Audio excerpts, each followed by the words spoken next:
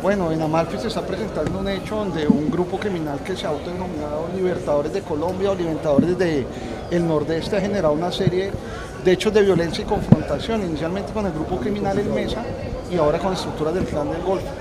Este grupo estaría liderado por Eusebio Agudelo, alias Elena, una persona que se fugó recientemente de la cárcel La Picota y que está articulando todos estos hechos de violencia. Precisamente una serie de resultados importantes, incautaciones de armas, se incautan armas de fuego automáticas, eh, hay unos esclarecimientos muy importantes de homicidios, eh, se han presentado dos masacres, la primera masacre fue esclarecida y fue de autoría de este hecho, neutralizaciones de integrantes de este grupo criminal y aquí el compromiso eh, es, uno, es único, se está trabajando con la Fiscalía en una línea investigativa y operativamente con el Ejército Nacional.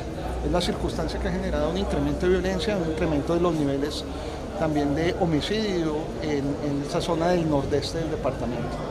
¿Quién es, capturado? ¿Quién es capturado allá en por qué se cree que ¿Por qué mataron a esas tres personas? Bueno, eso es el tema de rentas criminales.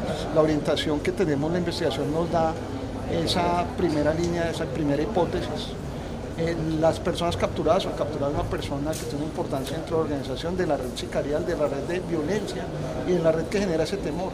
También ha sido capturado el segundo cabecilla de esta organización de operación anterior, como digo, es un trabajo sistemático entre las autoridades policía, entre las autoridades del orden nacional y departamental. Había una serie de recompensas, un trabajo también con eh, el alcalde de este municipio y un trabajo permanente de control con el Ejército Nacional, apoyo de Fuerza Aérea también en algunos temas eh, de videovigilancia o vigilancia aérea.